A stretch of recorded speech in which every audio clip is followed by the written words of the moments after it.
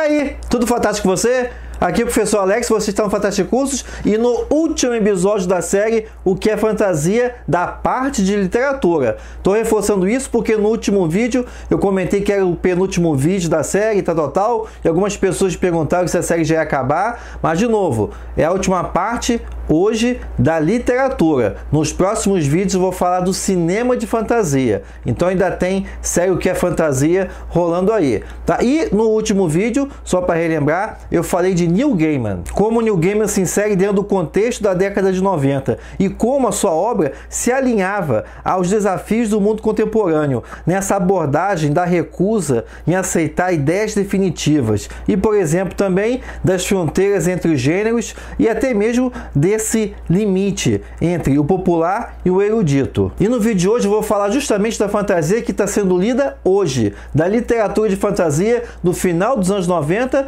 até as primeiras primeiras décadas do século 21 e reforçar algo que eu já falei nos vídeos anteriores. Quando acabar a série que é fantasia, a série toda, eu vou fazer uma live específica sobre contos de fadas, porque esse é o pedaço, o momento da série que sempre desperta mais debates. Vou fazer uma live aqui no, no, no YouTube. A última que eu fiz sobre o Halloween foi lá no Facebook, então dessa vez eu vou fazer aqui no YouTube. Então se liga, deve ser mais ou menos entre o dia 28 ou o dia 30 de novembro. Então marca aí na agenda, eu vou avisar nos próximos vídeos, mas já fica ligado, live aqui no YouTube sobre contos de fadas. Conto com sua presença. Essa abordagem da fantasia, nos últimos anos da última década do século XX, além do Neil Gaiman, continuou com outros escritores e obras, como por exemplo a trilogia do assassino de Robin Hobb, publicada entre os anos 95 e 97, a trilogia Fronteiras do Universo do Philip Pullman,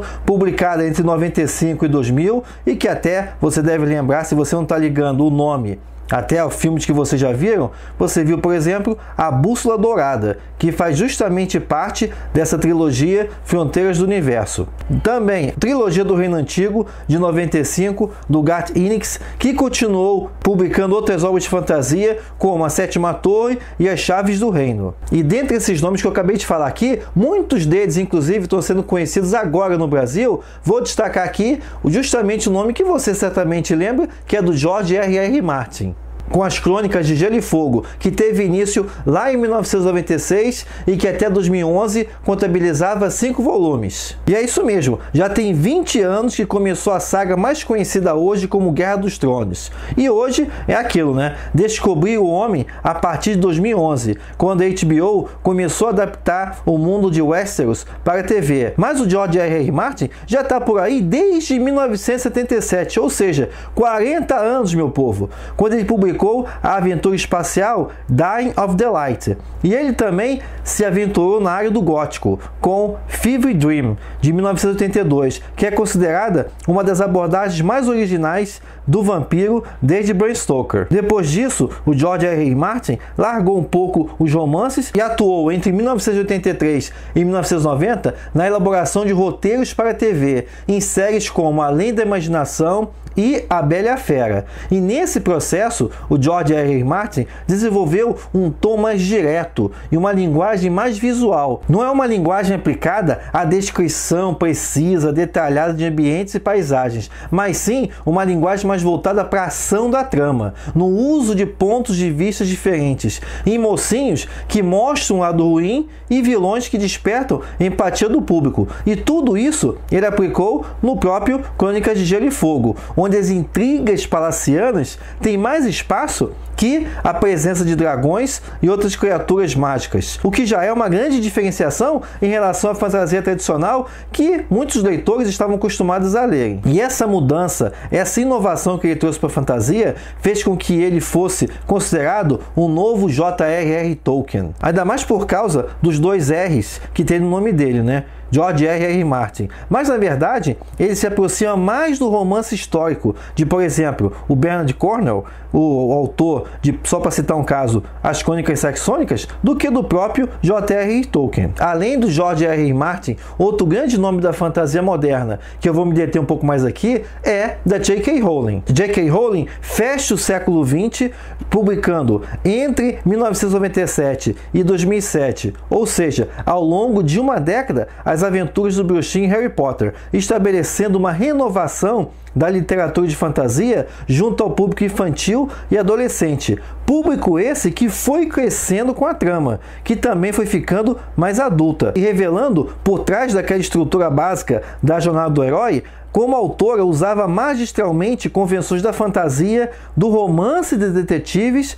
e do gótico. No fim, o que se tem é uma obra que deixa claro as características da fantasia contemporânea. Ou seja, nessas obras de final dos anos 90, que eu acabei de falar aqui, como do Robin Hobb, como também do Philip Pullman e do Garth Ennis, você observa um padrão de abordagem de temas da fantasia. Que características são essas? Dá uma olhada aí. A crítica ao preconceito social é muito comum nessa fantasia contemporânea você ter essa abordagem de classes diferentes ou então de raças diferentes que permite uma discussão que a gente vê hoje aí nos noticiários. Outro ponto também marcante da fantasia contemporânea é a abordagem da alteridade, que tem a ver com o que eu falei anteriormente. Ou seja, você tem um foco bem grande no lugar do outro e como esse outro acaba revelando mais sobre nós mesmos. Outra característica também é uma forte crítica da alienação do sujeito perante a sociedade, ou então da desumanização do sujeito diante da sociedade, diante dos costumes e das instituições sociais. Esse último ponto a gente vê muito em obras de fantasia relacionadas ao que se convencionou chamar de literatura de jovens adultos, ou seja, Young Adult Literature. Pontos esses que você também pode ver na literatura de distopia também desse segmento de jovens adultos. E foram essas qualidades que eu acabei de enumerar aqui que a obra Harry Potter sintetiza tão bem, trabalha tão bem, que levaram Stephen King a dizer que a obra de J.K. Rowling vai acabar na prateleira dos melhores, ao lado de Alice, Frodo e Dorothy. Não é uma série para a década, mas sim para a eternidade. E essa qualidade de Harry Potter, que como toda obra de grande sucesso, acaba também levantando críticas. Vamos lembrar aqui que a Ruth Rocha, um dos grandes nomes da literatura infantil brasileira, diz que Harry Potter não é literatura. Mas, como eu falei aqui, toda obra de grande sucesso sempre vai despertar também detratores, às vezes até pelo fato de associar sucesso comercial com baixa qualidade. Isso aí é um velho preconceito que a academia nutre até hoje pela literatura de entretenimento. E esse sucesso da série Harry Potter pode ser traduzida em números também. Até 2013, por exemplo, 500 milhões de livros já tinham sido vendidos da saga do Bruxinho, fazendo de J.K. Rowling a primeira autora bilionária do mundo e fazendo com que a marca Harry Potter valesse 15 bilhões de dólares na época. E a sombra de Harry Potter se espalhou na primeira década do século 21, na fantasia voltada para o público infantil e público adolescente, como na tetralogia do Ciclo da Herança de Eragon de 2002, de Christopher Paolini, e na série de cinco livros da saga Percy Jackson e os Olimpianos, do Rick Riordan, iniciada em 2005 com Percy Jackson e o Ladrão de Raios. E nos anos de hoje, ou seja, essa década que começou em 2010, a gente vai ver uma nova experimentação, uma nova transformação da literatura de fantasia, uma mudança sutil que vai incorporando outros elementos, toda essa tradição de Harry Potter. Harry Potter agiu como uma sombra né? uma sombra sobre os escritores de fantasia, isso no universo do adolescente. Né? Lembrando que também a gente tem outra tradição mais ligada ao universo adulto. E é nessa seara que nós temos escritores se destacando, como por exemplo a escritora Lane Taylor, com a saga iniciada em Feita de Fumaça e Ossos, de 2011, também o Orfanato da Senhorita Peregrine para Crianças Peculiares, de 2011, de Ransom Higgs Elantris, de 2012, de Brandon Sanderson, O Trono de Vidro, de 2012, e também Corte de Espinhos e Rosas, de 2015, de Sarah J. Mess. Esse último aí, uma releitura de Abelha Fera para esse universo dos jovens adultos. E algumas obras isoladas de qualidade excepcional, como por exemplo O Golem e o Gênio, da Helene Wicker, em que você tem essa presença, esse trabalho da cultura árabe e da cultura judaica e As Crônicas de Amor e Ódio da Mary E. Pearson, de 2014. E o que se observa hoje é que, dentre as vertentes do fantástico, ou seja, a fantasia, o gótico e a ficção científica, a gente observa que a fantasia vem atraindo cada vez mais jovens escritores e também jovens leitores, principalmente porque a fantasia é, das vertentes do fantástico, a mais alinhada em buscar retratar esse, essa descoberta do ser humano, esse gradual amadurecimento que o indivíduo tem à medida que vai enfrentando os desafios e vai também se colocando diante do mundo. Então fica a dica para você conhecer todos esses autores e obras que eu citei aqui, porque certamente vale a pena. E à medida que você vai lendo essas obras, lembra, tenha em mente todo esse background, toda essa tradição que eu vim abordando nos outros 17 vídeos da série, como é que uma, uma ideia se liga a outra. Nenhum escritor de fantasia acordou e veio toda ideia na cabeça, opa, ideia original. Não, tudo é um trabalho,